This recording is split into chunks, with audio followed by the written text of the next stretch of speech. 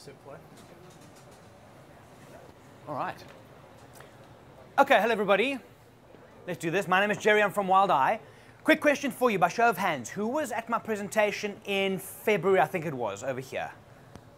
See some faces? No. Oh, wow. Okay, let me try again.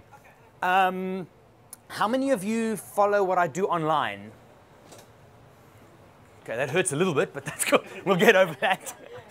Okay, I'm going to do one or two more for me to get some context here. How many of you have been to Africa on a safari in the last, I like it, the hand goes up immediately, in the last six months? Year? Ever? Okay, let's change this around. Who's never been on a safari in Africa? Okay, we need to remedy that, number one. Yeah? Okay, but we're all keen on wildlife and nature photography, yes. Okay, I walked past Madison Square Park, they've got amazing squirrels. They're incredible. They're huge compared to the things we get back home.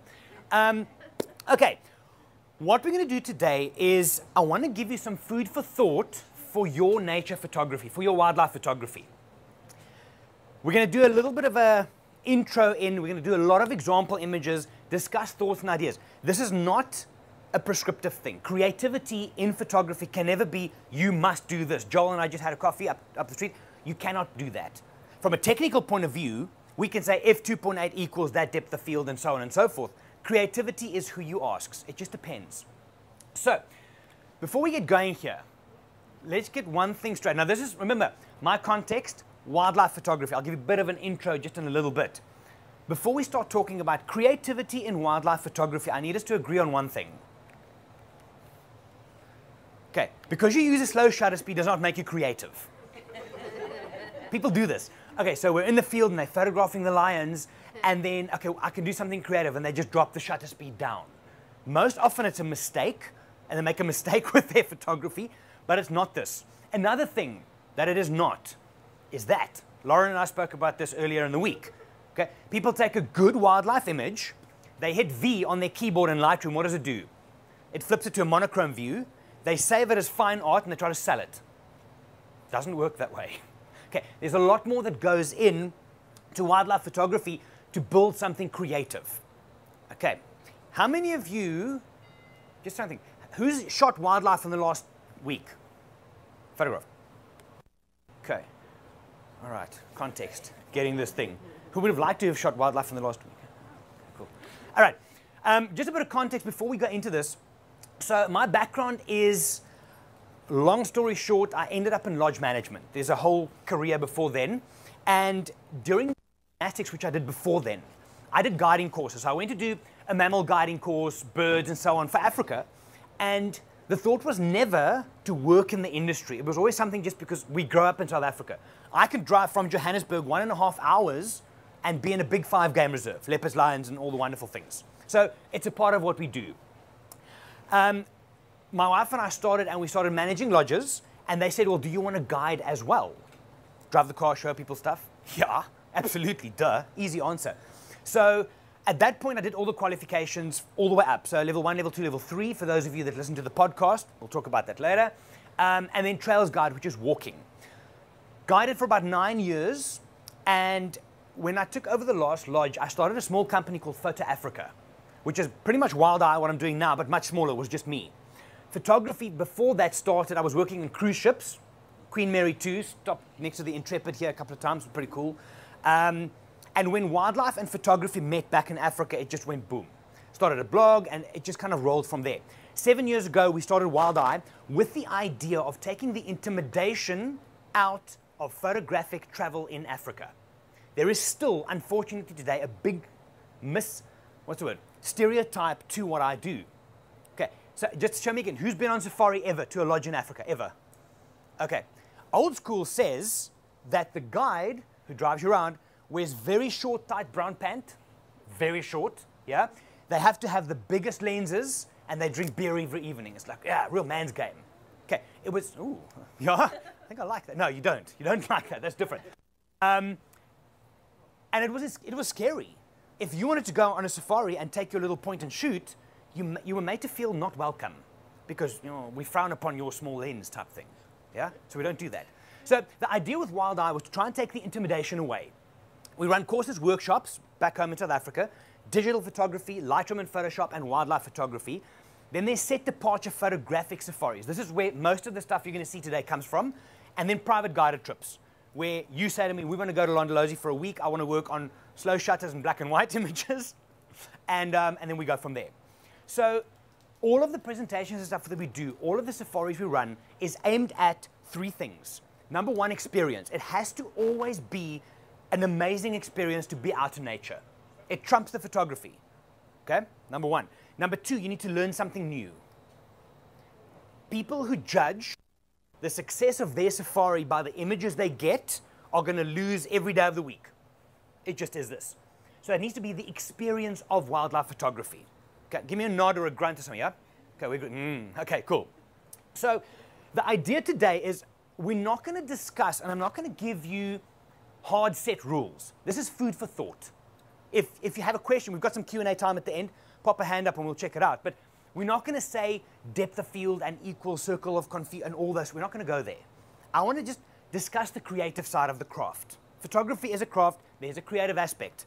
Okay, let's do this. Show of hands. How many people here shoot Canon? Nikon? Okay, if you guys can just split up then. So if we can just get the, okay, because it's a big thing, yeah? When was, when was the last time you went into a museum or a photo gallery or whatever, and you stand in front of this beautiful picture, and you ask one of the following questions. This is an amazing, amazing image. It must have been taken by Canon. Doesn't work. When was the last time you stood in front of that same image and looked at this and said, this is an amazing image. It really is. That is some of the best ISO I've ever seen. We don't do that. Okay. What speaks to us from a photographic point of view is the narrative, the creative. It needs to make me feel something. Yes, yes, there's a, create, a, a technical aspect that needs to be there. Always will be. And that is the foundation on which you are creative. And that's what we're going to go for today. So we are going to mention ISO shutter speed and stuff, but we're not going to go down that road. Joel and I, we just had coffee. I said that already. Hey, it was a great iced coffee. Yeah, it is. I mean, come on. Um, we spoke about it as well. And the easy way why people get so stuck on the technical is why. It's easy to break it down. We can put numbers on a chart. 2.8 equals this. Da, da, da, we can do that. You can't do that with creative because it depends who you ask. But that's the fun stuff. Okay, so let's get into this. This is just, I'm, I'm fast forwarding a bit here. This is some of the presentations. We're doing a roadshow through the US next year. We'll be back here as well. Just read the continuum-based approach to wildlife photography. I'll talk through it. This for me is the base of what we're going to discuss today. Right, what photography, and more specifically wildlife photography. You just want a proof shot. You just want to go home and say, oh my God, look, I saw a leopard. Yeah? You don't care if it's good or not. Yeah? So this workshop here, which will happen next year, is in development. There's a lot of stuff happening. Oh, sorry, just one more thing for you. If any of you want this entire presentation afterwards, email me, I'll send it off to you. So you don't have to write down or whatever the case is. So just the continuum, right? This is it. So in the beginning, when you start doing photography, you just want to get a proof shot. You couldn't care if it's 100% sharp, if you cut the leopard's foot off, if the elephant as well an ear. You can just say to someone, pangolin is. Yeah? Proof shot of pangolin, check, you're good. Okay, don't worry about the rest. Once you've got proof, then you move into the documentary stage. This, for me, as an easy description, is if you open a field guide to the mammals of Africa, you open the book, there's a picture of a lion's face. It's a document shot. It's not great, it's just good. Or lion from the side, profile. Yeah? You document nature. That's kind of where we all are most of the time. After that, it goes a bit further. The narrative. That is an image that asks a question. What is he doing? Why is he doing it? Now we're getting to an interesting place. It's interaction. It's implied interaction. A, a, leopard stalking, if my frame is all the way to Seth over there, and there's a lot of negative space, my viewer is going to ask, what is he stalking? Okay, so the narrative is an important one. Now, majority of you, okay, show of hands, if you, be honest, come on, all friends here, safe place, yeah? How many of you see yourself in document now? Okay, maybe, Lawrence, maybe, yeah? Narrative, okay. Now, the next step from there on is the creative. The catch with creative is it's high risk, high reward. That is specifically thinking, what else can I do here? Can I slow it down with a specific purpose? Can I crop it differently? Can I shoot it differently? Different focal lengths. It's the question of what if. Right. You will not, however, if we all go on a safari, no, not all, because that's a crowded game viewer. If, hello, Terence, if only three of us go on a game drive, because we keep it nice and private, we're not going to get to an incredible sighting where there's three cheetahs busy chasing a Thomson's gazelle, there's elephants in the background, and there's a leopard in the tree. You're not going to start from the creative. You're not going to say, oh, let me try a slow shutter speed on this. It's not going to work. You're going to fluff it, right? You will start, you document first. We all pass proof. Nod. Yes. Shelly, nod. Yeah. Okay, cool. We all passed it. You document it first. Bank your shots before you start getting creative. Make sure you get the sharp image of the line. Then pull back because they could get up and leave at any time, right? Then you can start selling what story is here? What is he doing? What could he do? That's, this is normally this stage here for us, sitting on a game drive viewer. Lots of interesting discussions. What could happen if he goes here? And then you start getting more to the creative stuff. Okay, now, again, show of hands, please. Now that Terence is here. How was your training? Terrible. Good, okay. We'll go for a drink afterwards, no problem. Okay, so show of hands for me here. How many of you see yourself, if you had to choose one of these two, as a straight up technical photographer? Hands up. Okay? Kind of half. Creative? Okay, it's an interesting thing. I did the same thing in South Africa a couple of weeks ago, and it was the other way around. People are so scared to call themselves creative because what does that mean? What does it mean? In South Africa, funny enough, who's been, who's been to South Africa? Safari or no? Right, our culture is very much like a man's man. Yeah? We don't do like the art stuff and the creative stuff. That's like for the girls. So very few South African guys tap into that creative side because it's not a thing. I shot with European photographers from Norway and the Scandinavian regions about five, six years ago. Big mindset change for me because their culture is based in art. They've got that whole culture coming through. Very different approach. We'll get there. Okay, so breaking out of established patterns. What is the thing we always want to do? You want to bank the shot. There's a lot more to this. What is that?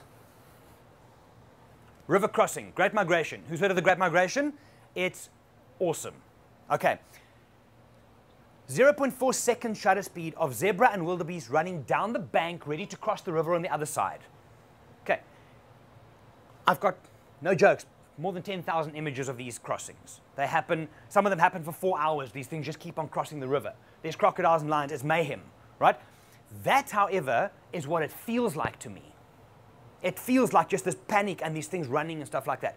We need to get to a point where we're trying to shoot what we feel, not just what we see. Big difference there.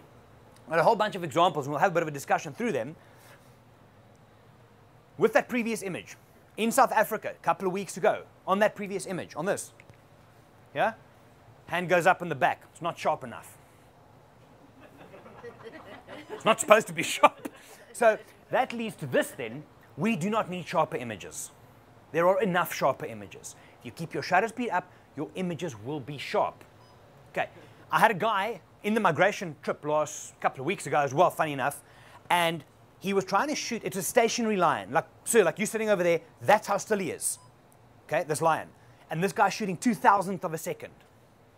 Thinking, yo, he's a bit, no, no, no, he's got his ISO up at like whatever, two million or something. And he's shooting this thing, is it sharp enough? Then to, no, I'm gonna make it faster. Sharpness is like being pregnant. It either is or it isn't. You can't be half sharp. You can't be half pregnant. Once you get to the point when image is sharp, it doesn't care if you triple the shutter, it's going to be the same thing. Okay, we overthink these technical things. What we do need is better images. We need images that make people feel things. We need to. I had a, I go down rabbit holes often, as some of you will know, right? I was in the Kalahari. Anybody heard of that before? Kalahari Transfrontier Park, good place. Um, and there's a photographer, probably one of, personally, one of my that I admire the most, Hannes Lochner. Look him up, great guy and he works out of the Kalahari, used to. And he's got coffee table book in the shops. So I stand there with him, and he says the worst thing for him is he, he'll go into the shop. I don't know why he does, it's a bit weird. And he'll look at who looks at his books. And I'll check them out, right? And he says the worst thing as a photographer for him is if someone picks up the book and they just go flick, flick, flick, flick, move on. They didn't appreciate the work that went into it. They didn't, no images stop them. That's what we're after. We want images that are better, that can stop us. Yeah? Anybody know of Hannes Lochner? Look him up. Yeah, good, good, good, good photographer. Really good guy. Okay, the photographic rut. This is I'm going to show you in a bit. How many of you have ever been in a photographic rut? Hands up. Put my up, put two up. It happens. Where you just think nothing's working. I will never take another good shot in my life ever. It happens. Okay. At that point, what have you got to lose? Start playing around. Ask yourself, what if? What if is going to win for you every single time? What if I use a different lens? What if I half my shutter speed? What if I don't stand here, but I stand here? What if I jump while I take the shot? What if I lay down? The moment you start doing that, it stimulates the photographic voice and something good will start happening. There are two things. Hello? Two things for me in photography and creative photography that stop people. Terence is here now, so there's one extra. Who follows me on Instagram? Okay, keep your hands up for me, please. Who else has Instagram? Hmm, okay, we need to fix that. Okay, no. Risk. Social media has changed the game. We are so nervous of what we post. Admit this. For those of you on Instagram, admit this to me, because I know it's the truth. You post an image. Okay, nice lion image. Post.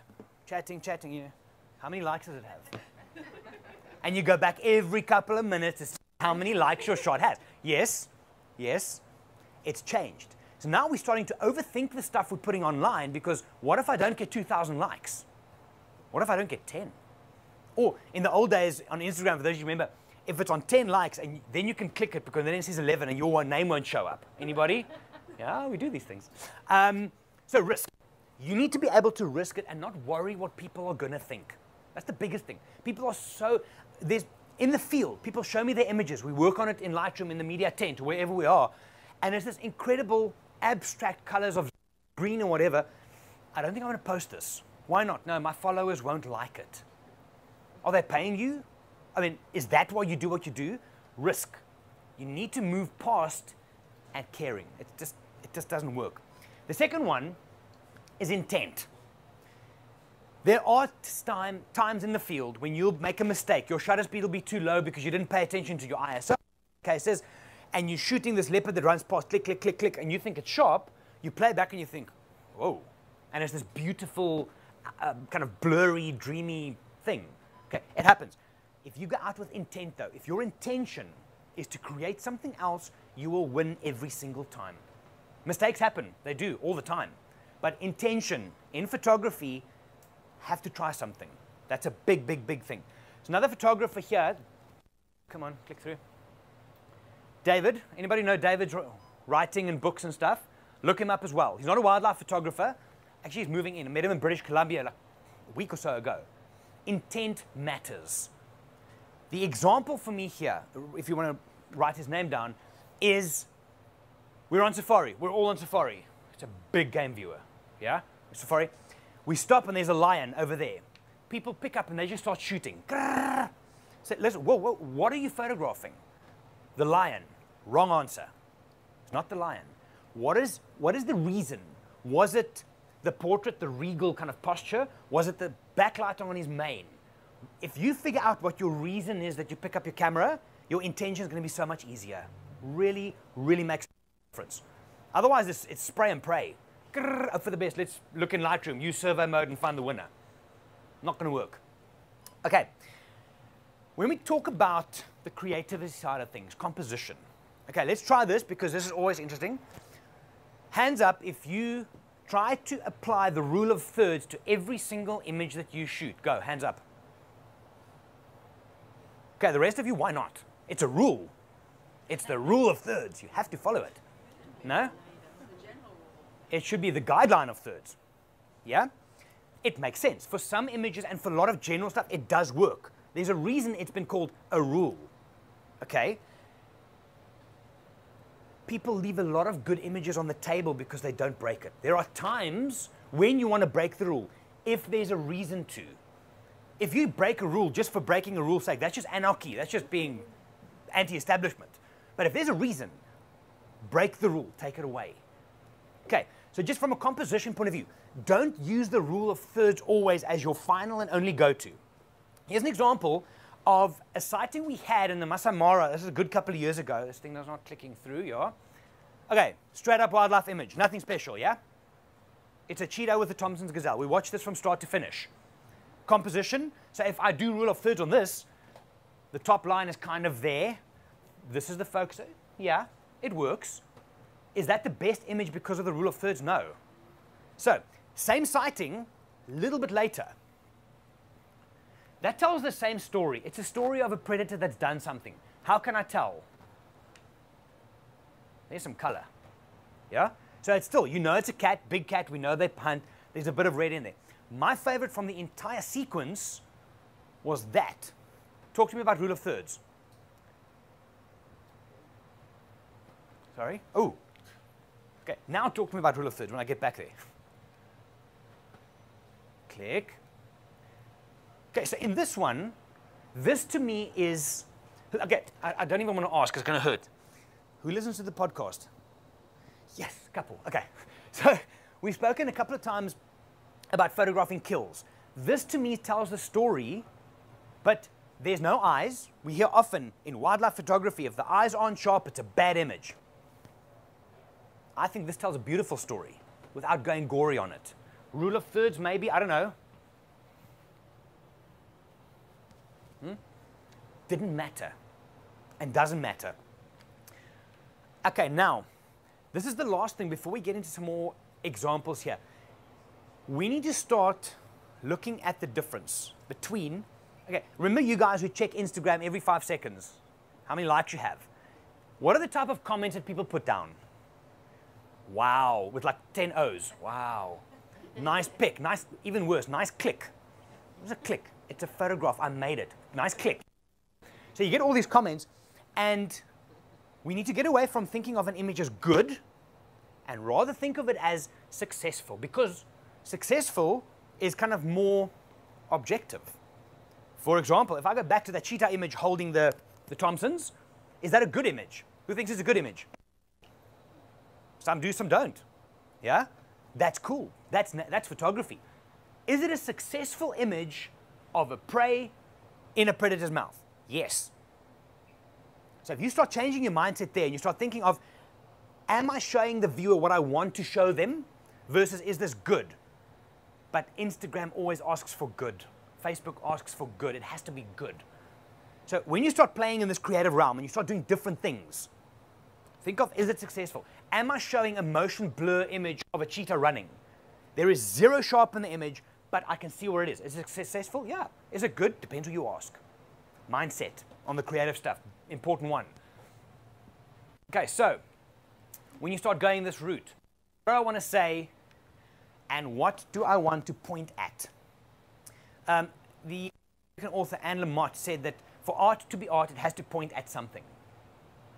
Makes sense. So what do I point at? This is a sunrise. It could be as simple as that.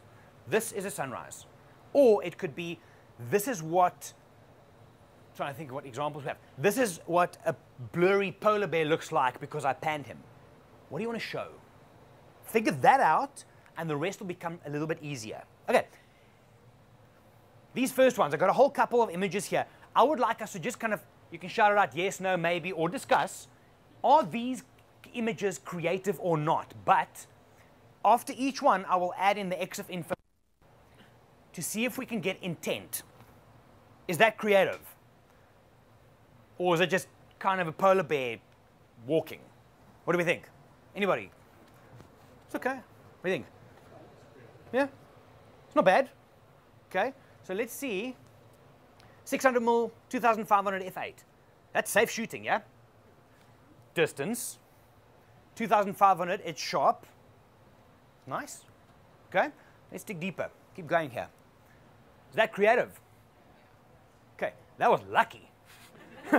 we, were, we were literally, I mean, this lioness was where Seth is. We were on the game viewer and she was sleeping like half upside down.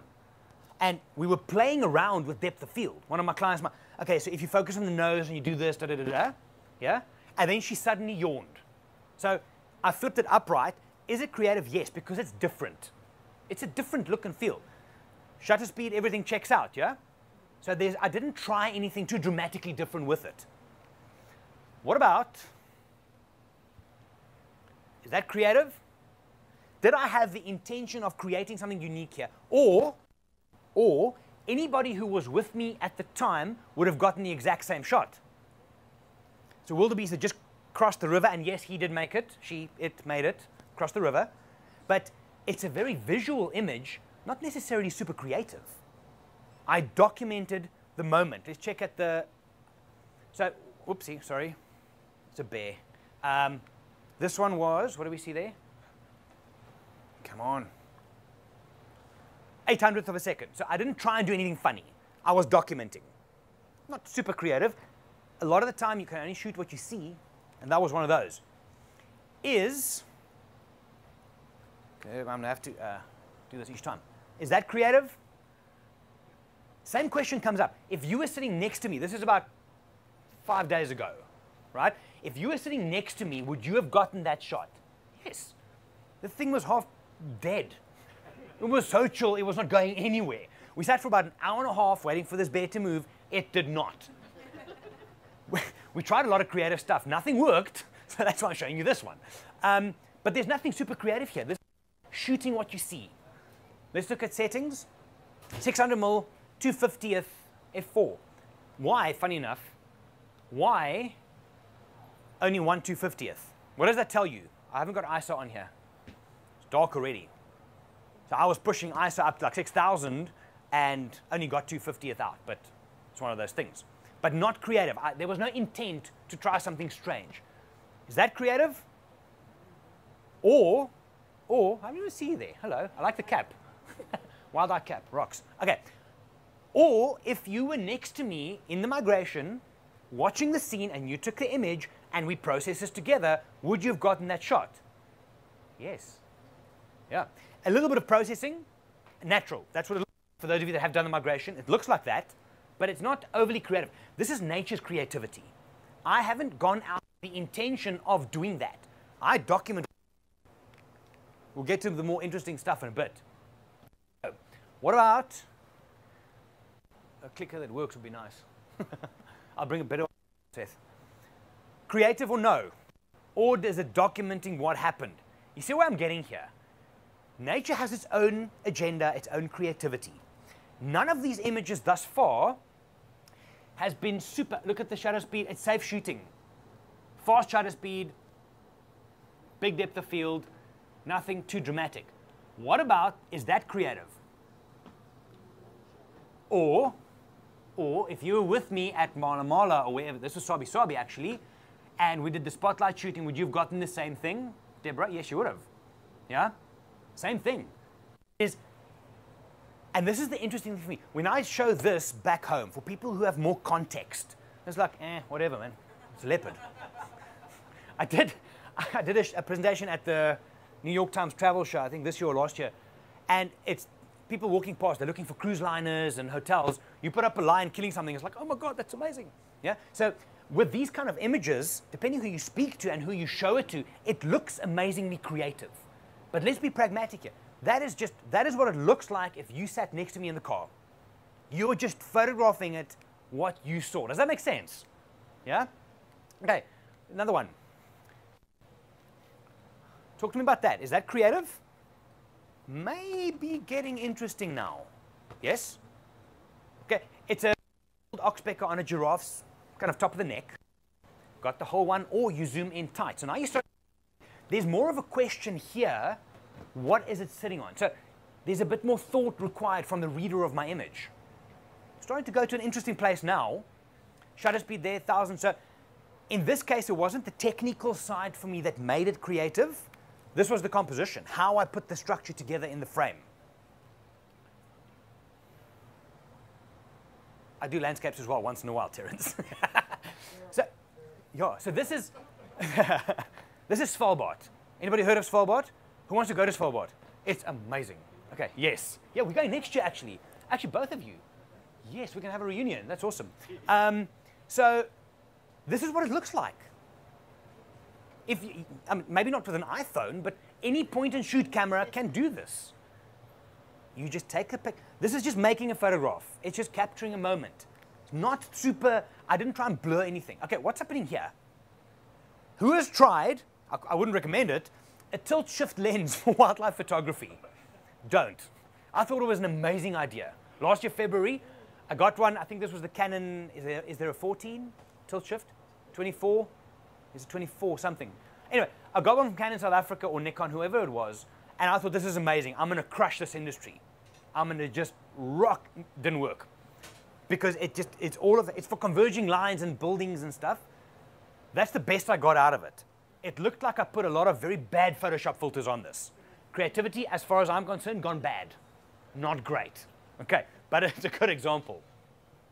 Uh, oh yeah, 24 mil tilt shift and all the settings down there. Is that creative or is that just documenting what happens in nature? It's just documenting. The cool thing with wildlife photography though is there is so much happening that if you just document, it sometimes looks creative. We haven't even started trying to be creative. That's still coming a little bit later on. This is just documenting. Didn't make it, sorry. Tried, it was close, but didn't make it across. So if you look at the shooting as well, why, just from a tech point of view, why five thousandth of a second? Because that's prepping for what might happen. Because when those things make contact, there's a lot of very fast movements. We won't go into details, but it gets messy. Okay? And you want the fast shutter speed if you want to document that kind of thing. Not everybody does. Is that creative? Talk to me. Now we're looking at a little bit more of a slow shutter speed. So here, what do we have? 640th, that is a Brünnich's Guillemot. They are like bullets I mean, when they take off, they, they swim all harmless like a duck, and then suddenly when the boat comes closer, they just, they literally shoot across the water. We played with shutter speeds up to try and get to this point where some of it is still, face and stuff's perfectly tack sharp, but the wings and the, and the uh, on this was unbelievable. Loads and loads and loads. But the intention here was to get a bit of movement into the frame. So now it's going somewhere. What about that? This is a mistake. I made a mistake here, but I like it. There's a little bit of, okay, I don't know if you can see, there's a little bit of movement in the top part of the body. Notice for me, I think I've got it as a 24 mil. Okay, if you know your lenses, and that is not cropped, and you shoot on a 24 mil, we were sitting, and there was a little gap like this tunnel coming through here. They were all walking through, so we lined up and we kind of got the shots. And where you're sitting here, we're taking the pictures. You know in the movies how gorillas do this? They do. I found that out at close range, and he did a little mock charge thing at us. I pulled back because in 24 mils he was filling the frame, and I saw it in color. I thought, you know, I'm not so sure about this because it's soft. It's not perfectly sharp. Black and white, and I actually quite enjoy the shot. Maybe, maybe it's because my life flashed. No, it's not that bad. Maybe it's because it was a special moment to me, and that's photography. It means something. But I, I put this on my website at the end. So as part of my final trip gallery, that went up there. So a mistake can sometimes, sometimes help. It's scary though. Creative, so I've desaturated, bit of a sepia tone. It's just a different angle of a subject. One of the things, I'm not sure how many of you that have been on safari with me, we talk about deconstructing a subject. So as if you're looking at your squirrels in Central Park, or you're gonna do foxes or moose or bears or lions, whatever, often once you've shot the whole thing, it gets boring. You're like, oh, what else can I do? More, more. And you just end up with like 400 images of the same cat. Deconstruct the subject. Imagine for yourself, if you had to put a picture up on a wall, in the middle is the subject standing sideways, and you then had to surround it with eight square images of pieces of it. The foot, the ear, the nose, the tail, the trunk, the tusk, the mane. Now you start looking at it with a big lens up close.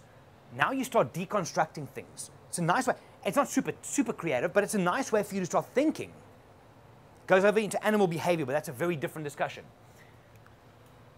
Creative or no? Slow shutter speed. You can see there's an intent there. So this one came across the river in the migration, 60th. Ah, man. Okay, that's also, but we'll get to that one next. So this was a 60th of a second. So off the bat, it's patterns. Wildlife photography is all about patterns and, and pattern recognition. You know, they're all coming across. We're sitting on the top of the bank. They're all swimming past here. You've got the, we've gone with proof, we've documented, we've done the story, the wide shots. Then go on an 800 mil, I think it was with the Canon, 60th of a second handheld and you kind of follow the zebra through while they're swimming through the water. So that is intent.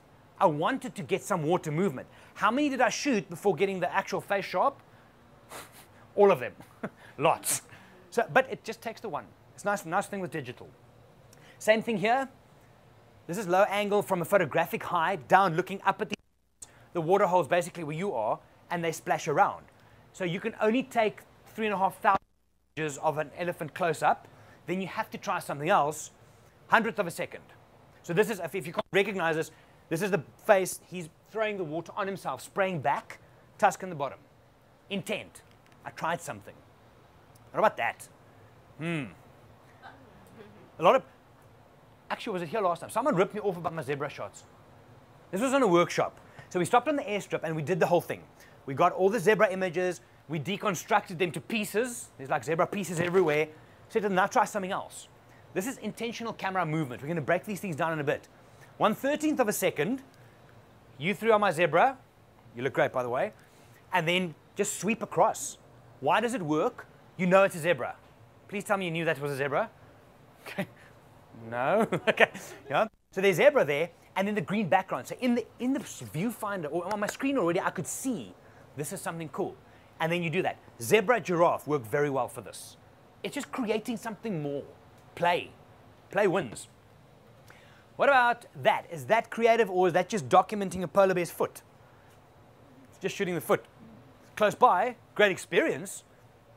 De deconstruct the thing in there. 600 mm 800 f5. Creative or lucky? And yes, the frog made it. That's an elephant's foot behind it. we were, he actually jumped into our hide.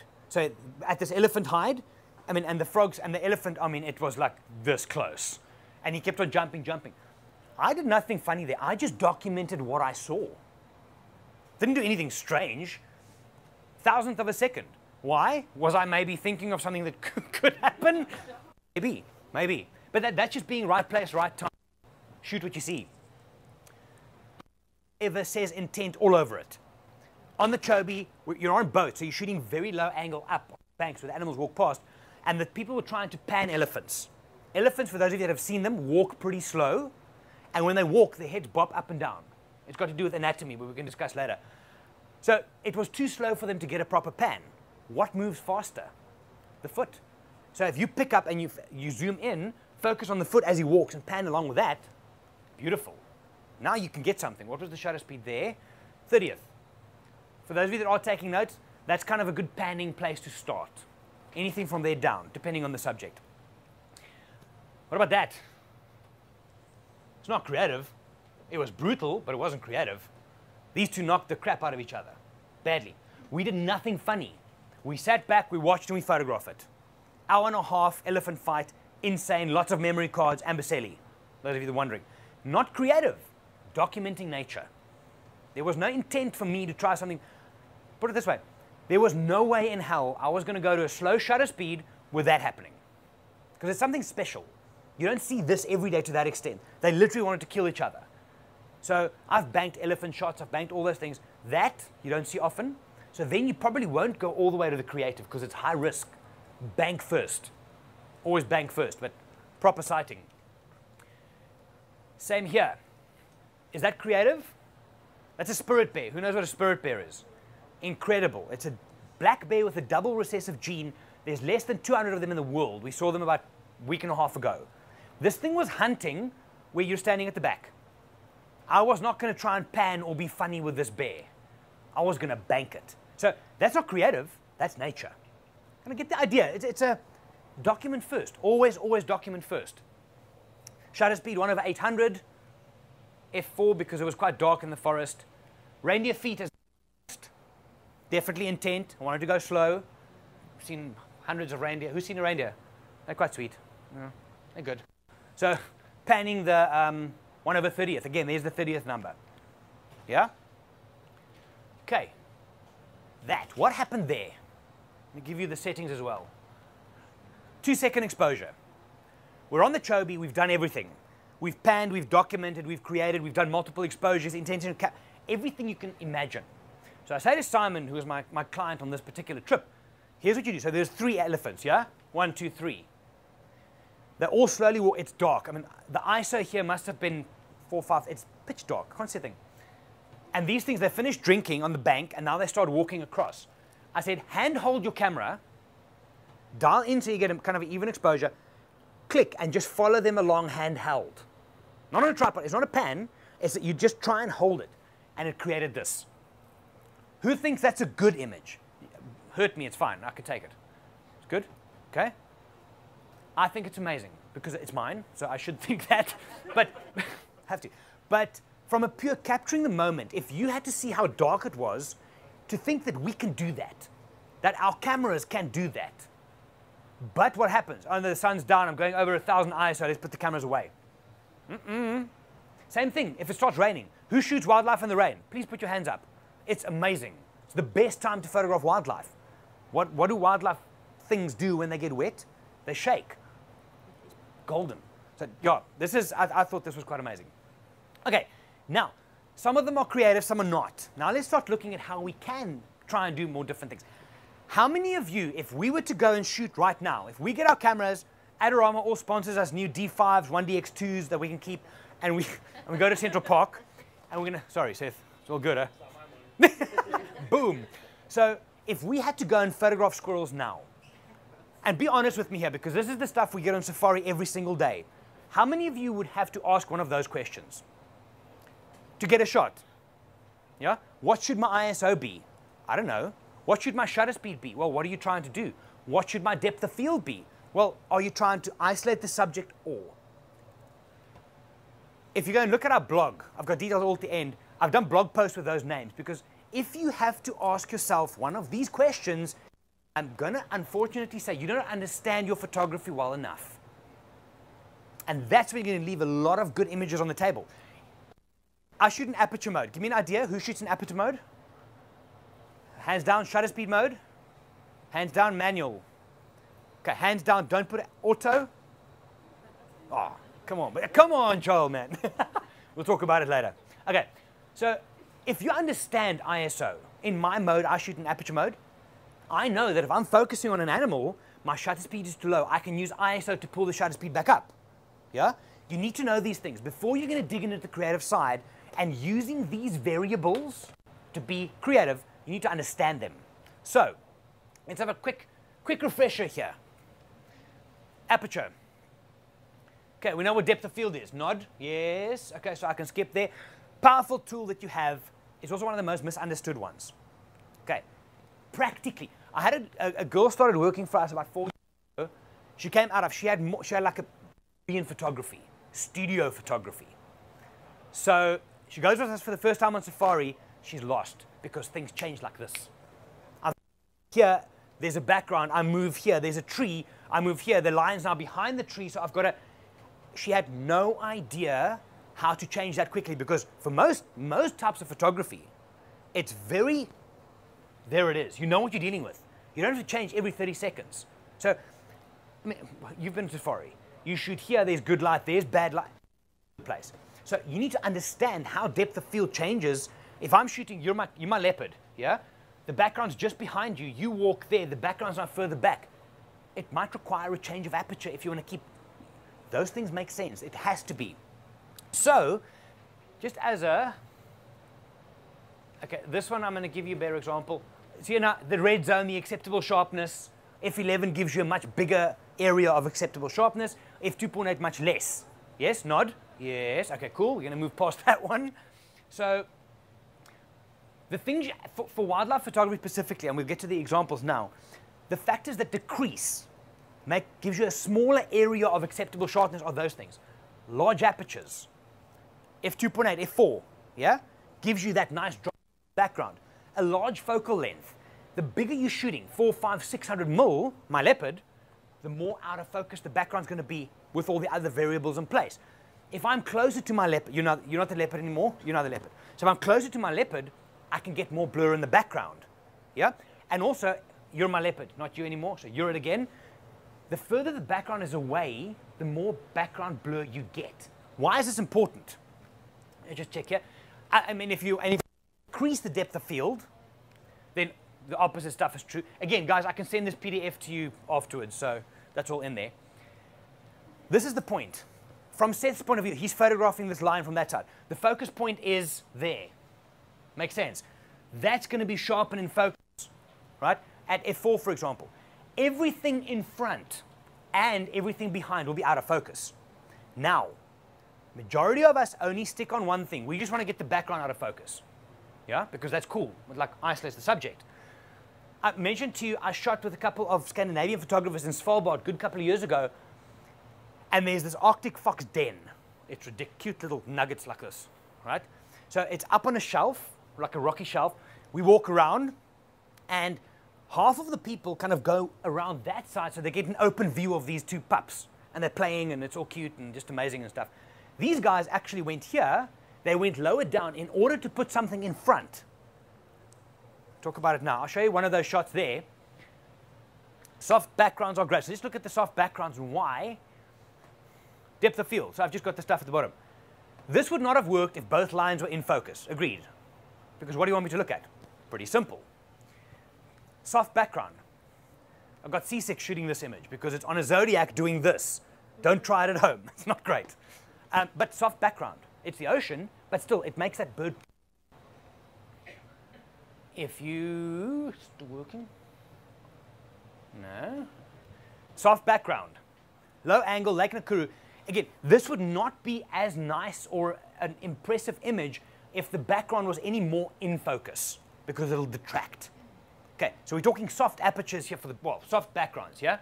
Being a little bit more creative compositionally, elephant with elephant in front. Low angle, the depth of field made possible because of a couple of reasons. I was very close to this one. The 5.6 gives me the nice depth of field and a 330 mil. So that works. Yes? No? Who hates that image? Good. Okay. Got to check. okay. So that's the easy part. We all know how to do this. Do, yes? Nod. You know how to do this. With your iPhone, with it? No? Okay, cool. So there's the variables. But the magic for wildlife photography is in the front third. This is not a great image. It's not even a successful image, maybe.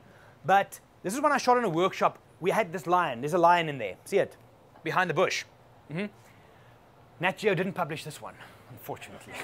so, so um, we were sitting in a, in a, on, on, a workshop, and the one lady's like, oh no, she's done, she can't, whatever. So, okay, here's this. So you focus on something in the front, out of the back. It's just a different way of doing it, but just to show you in there.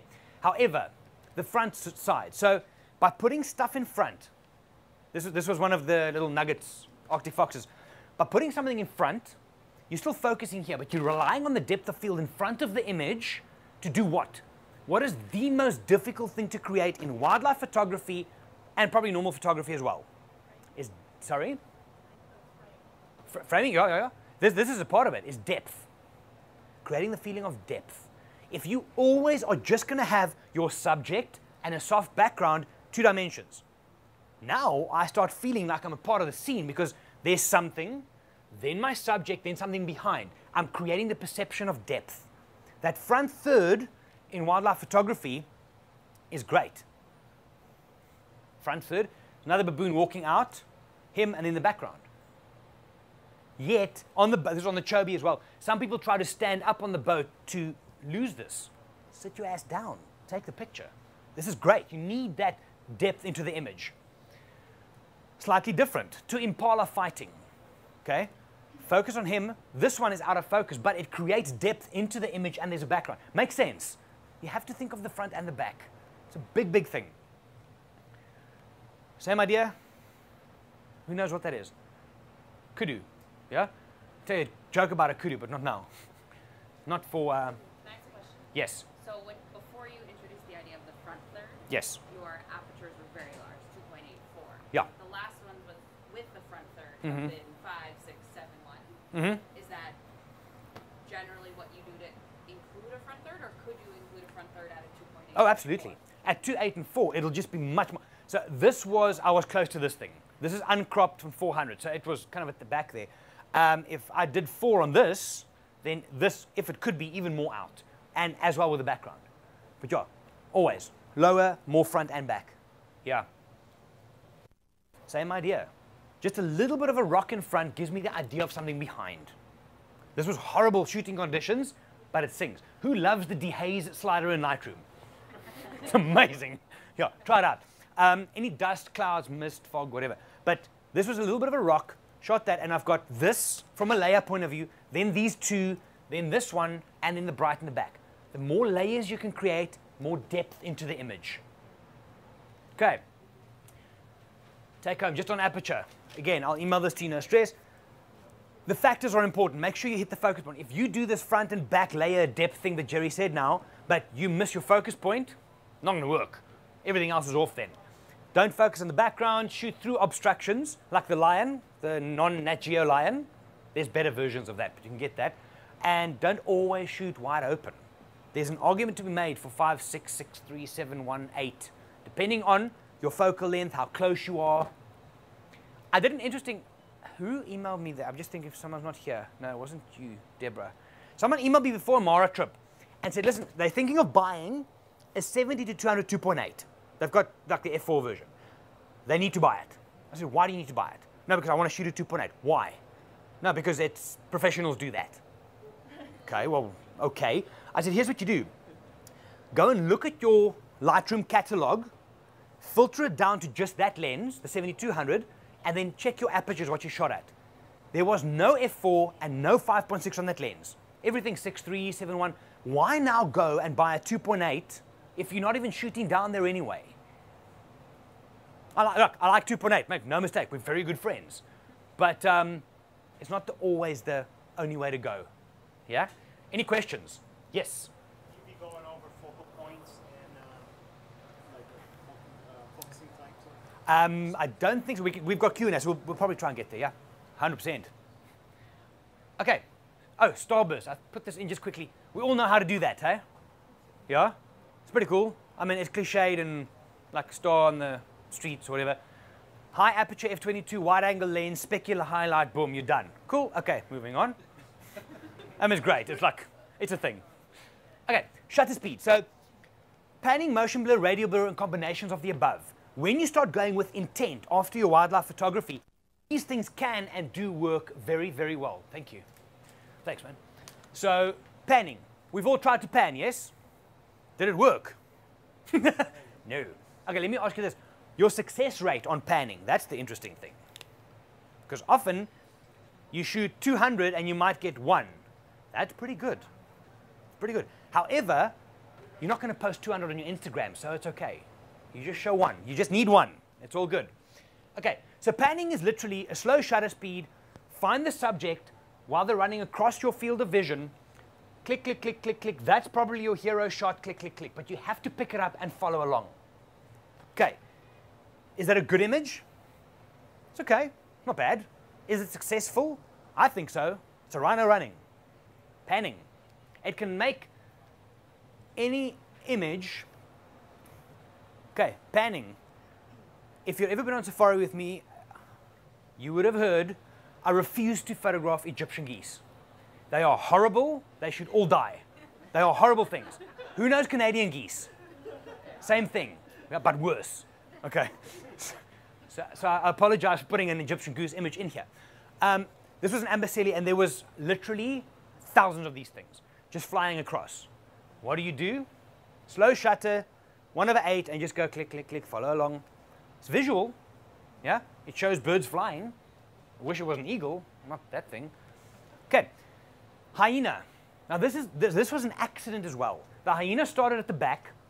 It walked towards us, and getting portraits. And as he came closer, you kind of pulling back on my aperture. We know why, yeah? To pu pulling back on the aperture. And as he came past, that just happened. So this is like an accidental pan, but still cool. Why would you want to? Why would you want some of this in your portfolio? Why? Variation. Thank you. Diversity, variation. If you only always have the same things, after a while, people don't care anymore diversity. It also keeps the experience nice and fun. Yeah? Okay, so then elephant pan, again, the foot. If you're ever on safari, watch the elephant's foot, the front foot specifically. They plant the back foot, you can see the back foot in the back. Back foot in the back. Is plant, and then it swings through very quickly before it slows down again. As a focal point right on the ankle, or with the knee. Come across, yeah? Now, this was very intentional, obviously, but there's the thing How many does it take?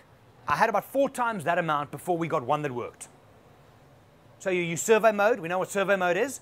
Golden, yeah, for wildlife, golden. And you find your one. So there's the one second right top, finally. But the sequences for slow shutter speed, you can shoot a lot of those things. Now, motion blur. This is something not a lot of people do in wildlife photography, funny enough, because it's difficult. And this is so a pan is where you physically follow along with the subject. Motion blur is where you you are still and you allow stuff to happen in the frame. Okay. If you're in a game viewer with five other people, there's fighting because you didn't sit still and you didn't sit still. It's a thing. But also to hold still enough hand, it's, it's difficult, but there's definitely options. Something like that, subtle. What is that called? Necking. Giraffe's neck, two males. Looks very romantic, but they're actually fighting. Yeah? These things stand next to each other, and it's just the head that's going as they're fighting. It's pretty cool. So, slow shutter, wait for the best. Again, you shoot 10, 15, 20, but you allow them to do the movement, not you. Okay? Motion blur. Pack of wild dogs. Who has ever seen a pack of wild dogs kill something? Nasty.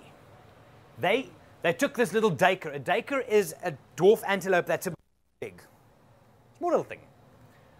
It lasted all of like two and a half minutes. Nothing left. They are vicious. So this thing bolted past the vehicle. Dogs came, killed it kind of with the back row sitting. Both, I had a private client, so we're on the vehicle. We balance our shut our cameras, push down everything, one thirteenth of a second. This renders very well on a, on a like a proper retina screen, but you got some of it visual, others. You can see what's happening though. Okay, I think the next one is also from there. So this one came out when it's almost finished, stood still. Nice to have something stationary, and then the chaos continues in the back. Motion blur. Let nature do its thing.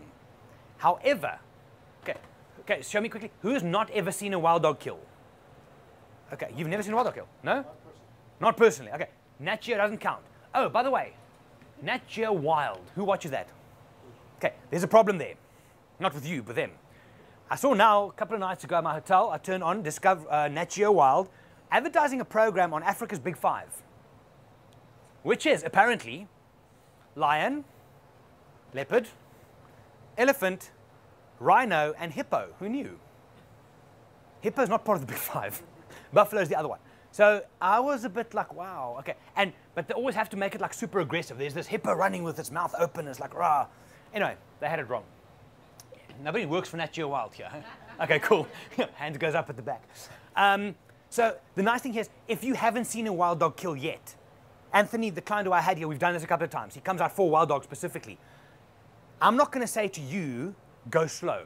You're going to punch your shutter speed up, your ISO up, and you're going to bank the shots because there's very good shots, if you like that kind of thing, up close here to freeze the action. Not when you get it for the first time. Red-billed quelea is the most numerous bird in the world. They come to a water hole, we're sitting in a hide, and they just like smoke. It's like the starlings in Europe, same kind of thing, and they just go up and down in the water. Slow shutter 30th, some of them are crisp, some are slow, motion blur. They do the work. You get bored of shooting into the for a while. Great migration, so on the vehicle, tell everybody to sit still, and you do your same thing. Sixth of a second, these things are just, they're thinking of crossing the river. So they're halfway through, they go back. It's painful. Sometimes takes seven hours before they cross the river. This guy stood still for long enough to create something else. Now, did I get normal shots of that? Yeah, absolutely. This is the nicest one to me because it feels like there's movement. If they're all just sharp and crisp, eh, whatever. You know what I mean? It's just do different things. You'll, you'll document first. If it's your first migration, when you come with me on your first migration, you're going to fill memory card after memory card of proof shots because they're going to be bad initially. And then you're going to start documenting, which is the, the freezing stuff. And then we play with this. Then you look back when you do your third migration with me and you go back and you think, what the hell was I thinking in the beginning? This is the good stuff. Don't, don't diss your process, but just be aware that there's always more. There's always more. Okay, radial blur. This is a strange one for wildlife. It does that. So it's you zoom in tight, slow shutter, click and pull back. Gives you that Star Wars effect. Yeah? So for wildlife, it has its application. It's difficult because now you have to be super still and you're doing stuff. Um, shutter speed, try and focus on the eye, pull out. Can work. There's one or two, who knows Greg du Toit, photographer? Yeah? he has one image of a rhino's face up close and then pulling, it looks like a dinosaur because the eye is crisp and it pulls back. It's just another option for you to play with when you're out in the field. Easier with static stuff, bottom of a tree on the bank of the Tule River, literally pushing the camera up against the tree and then just clicking, shooting blindly. There's a difference between taking an image and making an image. This making an image. Okay. This is the one that I quite like. The other ones are all like, nah, it's all right. These two, remember the running one from earlier on? This was one of them. They, it was midday, it was hot as hell, not as humid as this though. This is terrible. Um, dying out there, it's horrible. Um, these two guys were fighting. So they would run around, chase each other, and then they would contact. Boom. You can see a little bit of red. This is the gashes from the horn as they're going at each other. So the idea for me was, we photographed this for days, li- literally a couple of days, they were all in the same area. And the feeling was one, when they, when they hit, it felt like an explosion. They would hit and then pull back. That was what I was seeing. That's the closest I could get to photographing that feeling. Yeah? So they would hit and then pull back, and that for me was the only way. Hundreds and hundreds of attempts. Just takes one. And then, just I mean, as if, if you do stars and stuff like that, this is also I can't even remember what it was. Jataki Springs, I think. Random shoots. So you start in on a one second and just pull back, making images, playing around. I might not use it for anything. It's a good example though. Who shoots stars? Anybody like shooting stars? It's golden, hey? It's amazing. Go and Google Wild Eye how to photograph stars, and you'll have a blog with all the details step by step. It's pretty cool. Know the guy who wrote it. It was good. okay, so combination. So now you've got panning, you've got blur, and you've got motion blur. Why not put them together? What if we put them? What if we put them together? So late afternoon. This ISO here must have been three, four thousand, if not more. Right? Sabi Sands on one of our seminars, it was the one before yours, Deborah, and these elephants were walking away from a waterhole. So we're trying to pan them because it's that kind of time. You just pull back a bit and then suddenly you get that. Is it everybody's cup of tea? No. Some people think, oh, that's goddamn awful. Great, great try. Why not? Same thing. Late in the evening, this cat was just sitting there. It wasn't doing anything. That's what they do for 20 hours of the day. They do nothing. But if you start playing around, and that's the thing is you get into a sighting wildlife, whether it's your squirrel, a lion, or a bear, and okay, he's not doing anything, which is wait. Okay, if that's the case, when he starts doing something, now what? Oh God, what setting was I on? He's gone. You've missed it. If you stay in the game and you're trying things and you're aware of what is your settings at that time, it becomes a lot easier.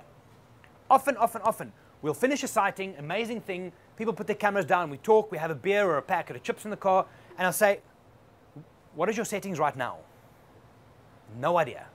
But if you're busy with playing around, when the good stuff happens again, it's easy just to flick back.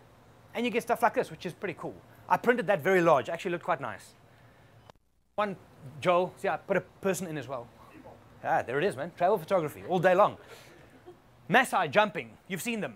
Yeah? Incredible height, beautiful people, amazing people. So again, 20th of a second, crunch down. They're jumping kind of where you guys, you're my Maasai now. You guys want to jump? No. Okay. So jumping up and down. So you're panning, you're pulling. So this is a pan and a radial blur at the same time. There's nothing crisp. You can see what it is. Does it show me what it feels like? I think so. Yeah? Another river crossing from way back. This is like six, seven years ago. If you've seen the migration, they'll stand on the edge of the river and then suddenly go. It takes one, wildebeest are stupid, but it takes one of them just to go. And that's what it felt like to me. So, one over four of a second, started on the end. It was a 200, 400 Nikon, and they twist weird if you hand hold it. So, zoomed in tight over here, and then as they started running, pull back and pan at the same time. That's the result. It is a good, is it a good documentary shot? No, it's not. Is it to me what it feels like? Yeah. That's the kind of thing. Okay, so on shutter speeds, just some ideas. Again, I'll email this, no stress, don't worry about it. Play, this is the most important thing. Then, intentional camera movement. Who knows what that is? Yeah, Terence, you and I've done that, I think, hey? Yeah? So, literally, where you go slow shutter speed and you do stuff, make circles, or you do zigzags. Do you know where it started, though? Funny enough, where it kind of got a thing. I think it was Japan, Tokyo. Art students got little point and shoot cameras. They would go to the middle of the town, town, It's Japan, it's a city. So they went to the middle with this camera, dialed in like three seconds, and threw this thing up. Turn, turn, turn, turn, catch. Look what we made. Intentional camera movement. Don't try that with wildlife though. But um, so the idea here is literally painting with light. All that is is a red bush willow with sun from the back, fifth, one fifth of a shutter speed, and making little circles while you take. And you, don't go click, not going to work, Grrr, and then look after it. It's making, it's painting with light. It's making images, not taking them. There's my, moving on, my zebra picture. Try the same thing with a moving leopard. Why not? Because we've got all, we've got hundreds of leopard shots. Yes? Nod? No. Okay, no. But why not? It's dark already. Your shutter speeds are already challenged. While this thing's walking away, 1.3 second shutter speed, just shake while you shoot. It's a thing. Same with this. It's a giraffe standing at a waterhole at the end of the day. You get there, you bang out a couple of sharp images, and then what? More? No, not more. Do something different. Fifth of a second, little circles. It looks like something a kid would draw. Does it make a nice addition to a portfolio? Yeah. I'm not going to make a whole portfolio of this on my website. Actually, might be something there. Okay, yeah, I'll think about that. But it's a nice compilation, not adding into the bigger picture. Intentional camera movement. Think of the nature of the subject. Leopard is stalking. Do not worry about people. Don't worry what people think. If you get five extra likes or less likes on Instagram, you're going to be okay. Not a problem. Okay, multiple exposures. Who's played with that in camera? Not Photoshop layers. Multiple exposures in camera. Who knows? Who does not any idea what that is? Okay, so what it is, this for the hands, is in camera you set two up to 10 depending on your camera and those frames, so I'm going to take picture, picture, picture, it overlays them and gives me one file. Okay, in camera, multiple exposures. That's one of them. That's five shots combined. So the wildebeest and the Mara, there are shitloads. They're everywhere during migration time, everywhere. So that's what it feels like sometimes. You look at this and you think, how do I actually capture this? It's all of those.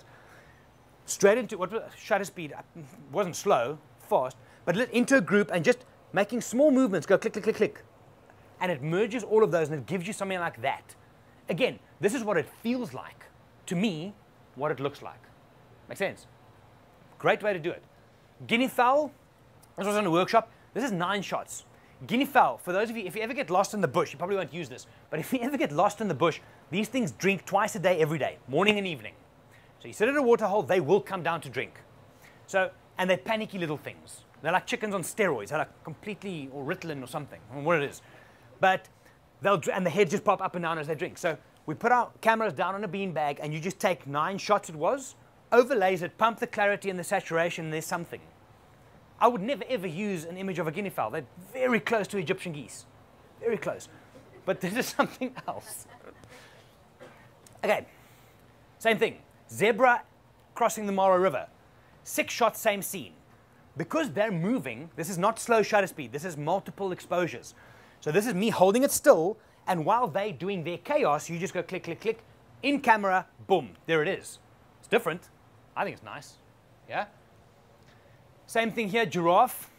There were 12 giraffe in the scene, right? Four shots. Some, so there's a ghost one here. So they were, they were like a whole bunch necking in the middle, and then the other ones walking past. It was these things are very difficult to photograph. Giraffes are phenomenally difficult to photograph. Unless you have them in context far and a beautiful African landscape, they're just like there. Well, there. They're very difficult to photograph. So this became interesting because we were far enough that with all the swinging and everything, we could do multiple exposures and create something different. Now, this one is a bit of a combination of two. Uh-uh, uh-uh. Come back. There. Okay, it's a herd of zebra. We could see that. Yes? There's two shots in here. The first one was a slow motion sweep, click, change the shutter speed faster, click. So what you're seeing, the crisp stuff is the sharp image, the sweepy ghost stuff is my other slow shutter speed that's been overlaid. Does that make sense? It's different. The reason we tried this on the day, this was at Kaburu Crossing in the Mara, it was windy as hell. I mean, it was just blowing. And someone said to me, right, smart guy, how do we photograph the wind? Fine, this is what we do. So it looks to me like the zebra are blowing away. Possible. Not possible for them to blow away, you know what I mean, right? So you can, in between your multiple exposures, change settings. One slow, one fast. Three fast, two slow, whatever. Nice to change it up. Um, this also, I think, is two shots. So the one was a slow panning image, and then immediately afterwards, just a sharp one. And it gets stuff like this. Again, this is making images, not taking. There's no right and wrong. It's just fun. One giraffe, five shots. One giraffe walking past a scene. So, again, pattern recognition in wildlife photography. This thing was going to walk past here. Put the camera down on a beanbag, and on five images, click, wait for him to walk a bit, click, wait for him to walk a bit, click. That's what you get. The original image, so that's out of camera, that's raw. So, same giraffe, five times. It's different. Who's tried that with a squirrel? Admit. Nobody? Come on, man. These things, are, they're huge though. African squirrels are like, yeah, big. It's strange. Okay, multiple exposures, just play with it. That's really as easy as it is. Now, just to kind of link it together, creative thinking processing. Who uses Lightroom? Show of hands. Hands down, Photoshop only. Hands down, anything else? Capture One. Yeah? Okay. So during post-processing, just to keep in mind for you that during post-processing, the eye, the human eye is attracted to certain things. Brightness, saturation, and sharpness. So I do this thing in, I think we did it the other day with Lightroom. Close your eyes and open. What is the first thing that draws my attention? In my scene here, I'm drawn to that Nikon case because it's the brightest part. I'm not drawn to the back because that's out of focus for me, right? So in your post-processing, using brushes, creative, however you decide to process, brighten certain areas, saturate them and make them a bit sharper. That'll draw my eye to it. On the flip side, the following will push the eye away, the push pulls, visual mass, yeah? Dark areas, desaturated areas, and unsharp areas. So whatever you felt like those giraffe, those the one five giraffe thing, how did I process that? I bring him a bit forward, I push the background back. Now you're thinking of dimensions. Yeah? Think how you can shoot. A lot of the time you have to shoot for your processing, but don't rely on it. For those, no, hold that. Go past. Okay, so this is the thing you need yourself always out in the field. What if? When you get to a sighting, whether it's a spirit bear, polar bear, or lion, bank your shots first. Get them. Boom. Then start thinking, okay, what can I try now? Don't arrive there and start multiple exposuring. It's going to end badly for you. Bank your shots, then work from there. Okay, question time. Anybody? Any questions? Yes. When you're shooting the wild, like, do you use handheld instead of tripod? And what's the when you bend the shot, what's the your presetting usually will be? Okay. First one, do handheld or tripod. 99% of the time, handheld. Whether we're on foot or in a vehicle, um, always handheld. The problem with a tripod or even a monopod in a vehicle, and some vehicles, if you've seen, if we're all driving on the left-hand side, they've got these mounts where you can bracket yourself in. Problem is, now we park like this, and the leopard, which started here, walks around. Now you've got to tripod your way around because you don't move the vehicle all the time. It's easier handheld or beanbag. If you have a badger bag, those ones that kind of go over the vehicle, that works very, very well. But yeah, tripod very, very seldomly. What was the other question? Okay, and how do you set your setting, especially in the quick movement? How Ah. Yeah, I've got a, I've got a standby setting where I will always be. So I'm in aperture mode, so I'll always go f7.1, and I'll be at about a 250th to 500 somewhere, just depending on the light, because there that's a big bug. Um, because I can up and shoot, I might get a proof shot if the pangolin runs across the road, but it gives me one dial either way on my on my aperture to either get more light or then close it down. So that standby setting, a lot of, I mean, F8 and B there, you've all read that somewhere. But I find 7.1 and kind of a 250 to 500 works quite well.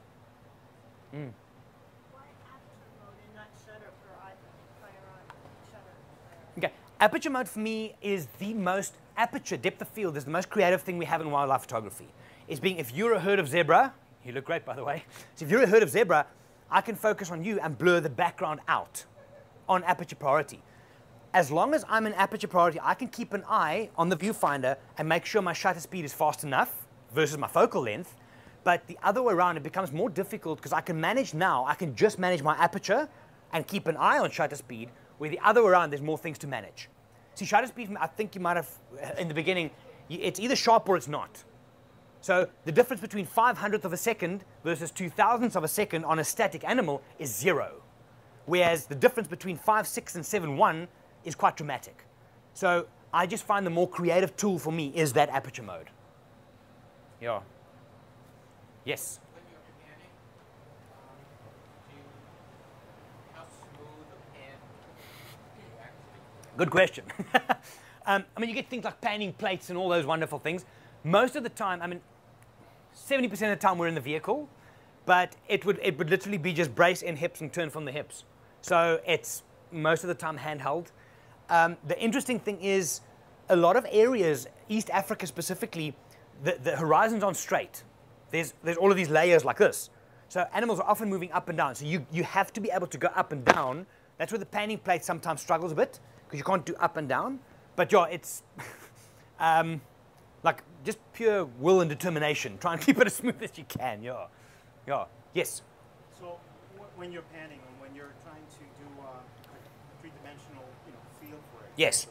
Are, you using like a single point focusing, and are you locking your focus as you move, as, Mm-hmm. as the subject is moving, or as you're moving? Sure. So on panning specifically, where would you, if, if I'm an animal walking across here, where are you going to focus on the pan? Not on the head. People still think there's a bird this in the frame, I've got to focus on the eyes. No, doesn't matter. On an animal, so what I will do, I'm always an AFC or continuous focus, AI servo, depending which language you speak. Um, so on a pan, what I would try and do, because you're going to pick up the animal, well, for all of us, pick him up over there. He's going to run across. This is probably your hero shot, and then he keeps going. Shoulder. So I try and hit the shoulder because most and most animals, bears actually as well. Actually, Kuna, hang on to it. Two African animals movements that move like a bear. Anybody? I saw this now recently. If you combine how a hyena and a cheetah moves, you get how a bear moves. It's quite interesting. Anyway, so focus on the front shoulder because that's where the mo- locomotion comes from, and that's normally the one point for an animal that moves in a flat line. If you go on the head, there's up and down. Elephants can't walk without moving their head up and down. Their muscles can't sustain, so they have to lock the leg, and that's why there's the head up each time as they lock the leg. Shoulder point, I'm always on AFC, um, and back button focus. So either just dial it in, keep it in, or focus, recompose, and shoot. But I'm always AFC or AI servo. Sorry, Canon. Yeah? Anybody else? Yes. I noticed on, on some of your shots, you shoot relatively extreme speeds and aperture mm-hmm. and cranking your out. Yeah. Are you, are you doing that because you're willing to accept some noise to get a specific mm. artistic view? So I'm not sure. No, no. I can fix noisy. I can't fix blurry. So I will always try and hedge myself. I would rather over. I, I must be honest. I'm very bad. People all the time ISO this that. I'll kind of. I mean, the easy answer, as you know, sun is down, ISO is up, sun comes up, ISO goes down. Easy way to remember it, and then vice versa. But I end up going. We started like 16,000, 16,000. Goodness, no, 1600 in the morning. I normally get to 800 midday, and I just leave it because I think if you know what your camera is capable of, and if you're comfortable to remove the noise for that particular inst, then I'm good. But if anything, I would always overcompensate because noisy I can fix to a certain degree. If it's out of focus and blurry, I can't do it. Yeah. Okay, what kind do you bring telephoto lenses, zoom lenses for telephoto? Oh, sorry. Say again. Lenses. What Yes. lens do you use? Ooh. If I only could take one lens, 7200 every day of the week. 70 to 200. Yeah. So how come you told someone not to buy it? No, because she wanted it for the 2.8. She, that's the only thing. I, I could have said to her, here's a 1 to 22 mil 2.8, and she would have bought it. It's whether it's polar bears, bears, gorillas, that is the first, and not because, it's not because of the 2.8, it's because of the focal length. You can get very good animal and environment shots or close up stuff with that focal length. Um, second up from there, probably 200, 400. I had to choose one up. And then, but it depends. If you come to East Africa, you need 400 plus. It's a much bigger place. If you come to Southern Africa, then 300 mil. You can you can use the big things, but you don't need it. Yeah. So I noticed a lot of your photographs were 500. Yes. That because they were in East Africa. There is that. There's also good question. There's also that. So at the office we have a rental stock. So I've got Nikon and Canon gear, Nikon, sorry, Nikon and Canon gear. Um, and how I normally do it is I will look at the clients. If it's a private guided trip, there's a lot of interaction, and I'll, s- I know you're shooting with the Canon. Or what do you shoot? Nikon. Okay, so bad example. So I'm going to shoot Nikon with you. I then take. I don't own a camera. I haven't for years. I take whatever rental stock I have that matches close enough to yours so that I can speak better to you and help you in the field. The 500 stuff just happened, I think it's the last two years. The 200, 400 was booked and there was a hub, so I ended up with a 500. That's really the case, yeah.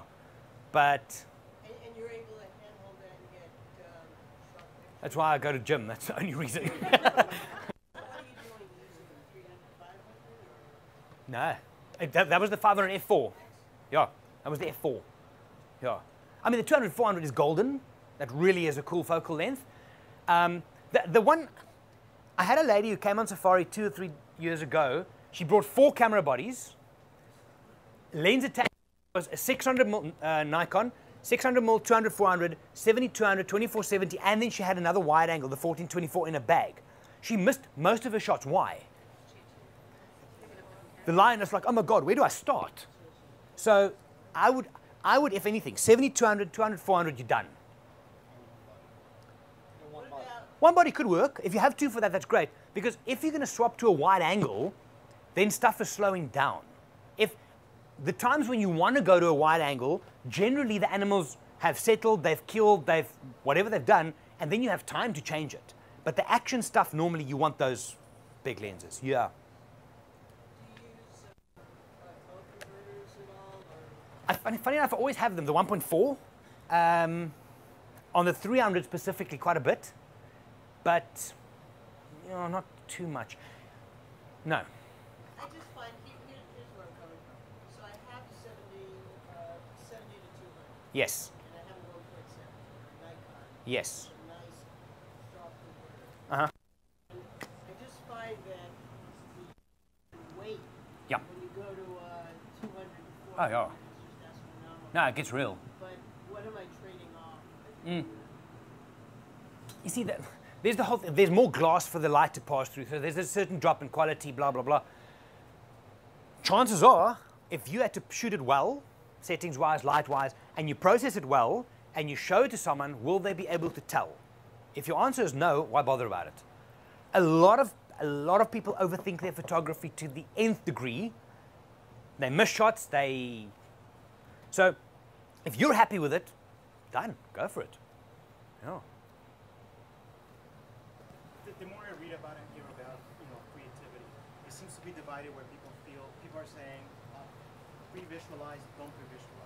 Okay. So is, is shooting with intention the same thing, would you say, as pre-visualizing? I think it's close. I think it's linked.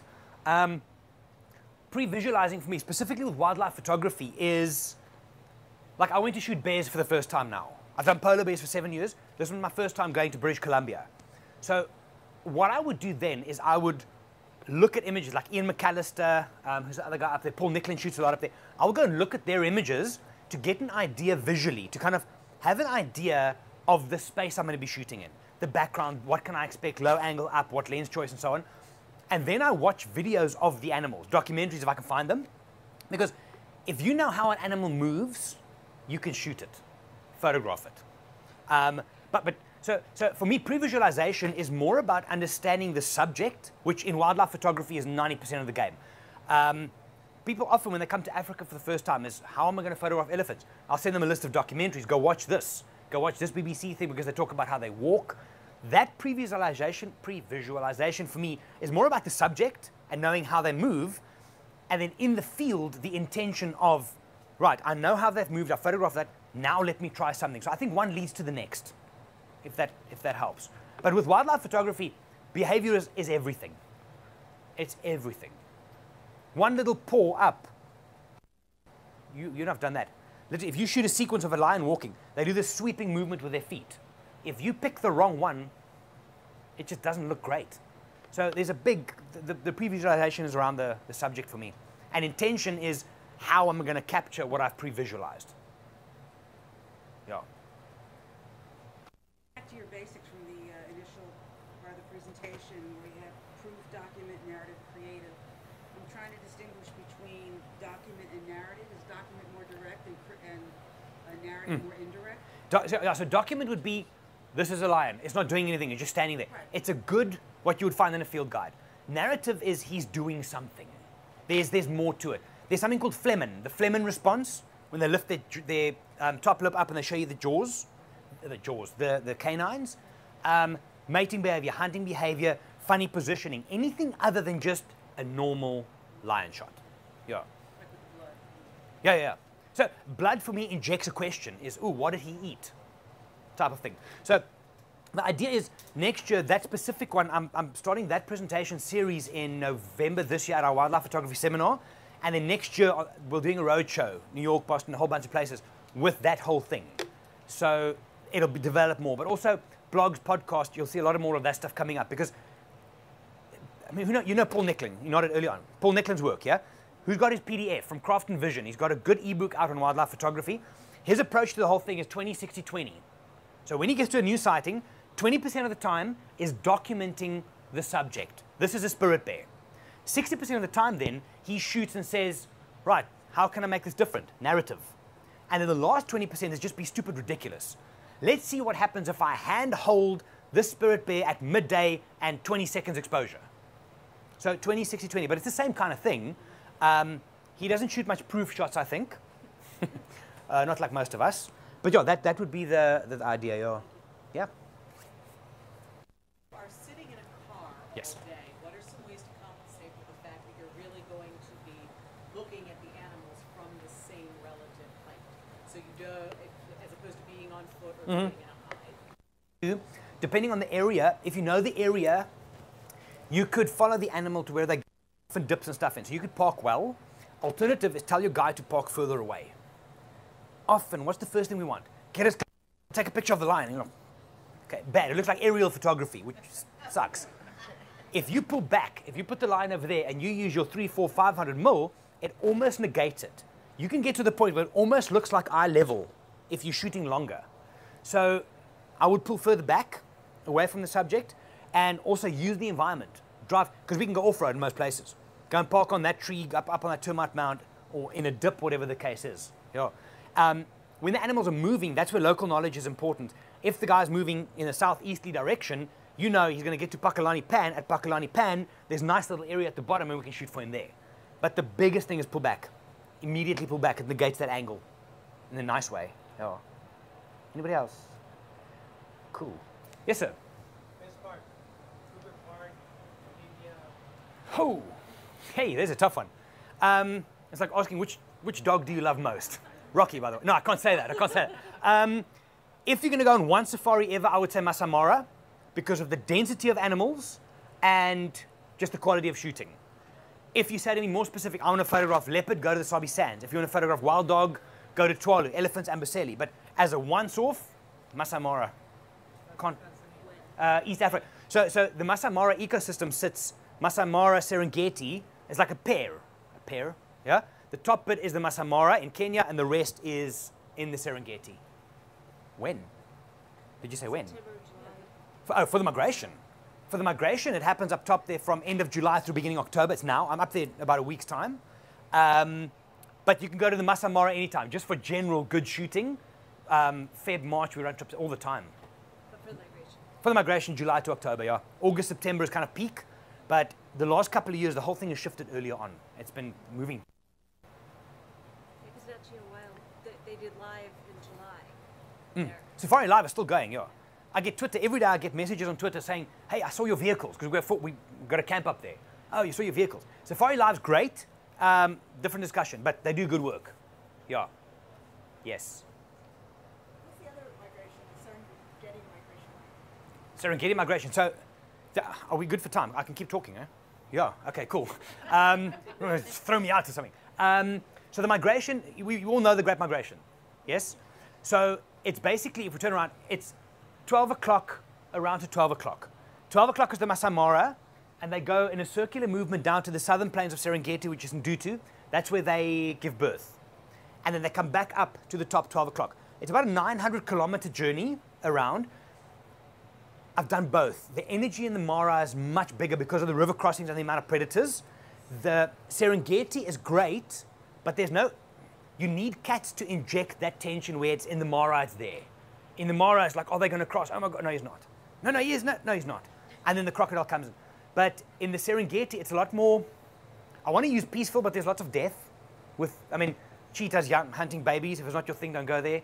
Um, but yeah, it's, it's, it's the same thing. It's just the river crossings make it dramatic. If you look on the blog, um, look on the two sides of the Great Migration, where I compare the two with images and stuff as well. Yeah. Questions? Yes, sir. Did you ever work with manual instead of aperture? Uh, do we shoot not for wildlife specifically? If I shoot stars and slower stuff, maybe, but the type of images you're kind of going for, there's just so much happening that, I mean, I said to Joel earlier on, I've bought this camera. It can do cool stuff. I'm not going to buy a Porsche and drive it at five miles per hour. So I'm relying on my camera to do what it does, and I want to just, for me personally, control the aperture because that is the variable for me that makes a great or a not great image. But there are times. I mean, sometimes that, for example, the, the light there was ridiculously difficult. It was backlit, everything was glowing, and you're struggling. If it's, excuse me, if it's a static sighting, absolutely, I'll slow down and go to manual.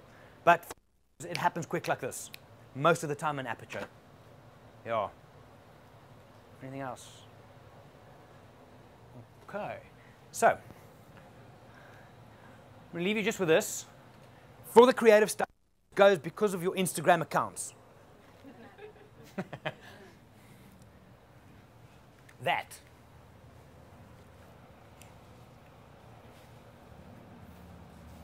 Don't worry what people think. As long as you like it, that's what counts. Yes, exactly. You can go like your own image on Instagram if you have to, but it's fine. yeah. Okay, any questions? All right, so um, before we wrap up, the next slide has contact details. I also have, I'm not sure I have enough, but I've got a whole bunch of these things for those that are keen, right? It is a wildlife photography tip sheet that we give out on us for now. There's not enough. Now I'm going to be in trouble, hey. Okay, here's the deal. If you don't get one, email me, I will post you one. If you're going on safari in ten days, can you get? Which company are you going with? I'm joking, I'm joking, I'm joking. I'm the crazy person who contacted you and is driving herself. Oh, really? You, you, you get two. It's amazing. Um, so but seriously, guys, if you don't get one, take my email. Um, hello. Take my email and I will post you one. I've got 500 of these at the office. So it's literally on each safari we give these out. It's very basic. You can put on your camera card, on your camera bag. Um, bit of information. It's literally scenarios, wildlife portraits, what to look for, shallow depth of field, blah, blah, blah, blah, blah, blah. So there's a couple of those. Um, I'll put them out now. And then for those of you that want to get in touch, um, Wild Eye website, I'm on Instagram, Snapchat, everything, same name. Um, podcast, blog, YouTube videos. There's a lot of stuff out there. I know there's like three of you that listen to the podcast. Thank you so much. It's amazing. Um, anyway, thank you so much for coming out, and I'll be around if you have any questions. Thank you.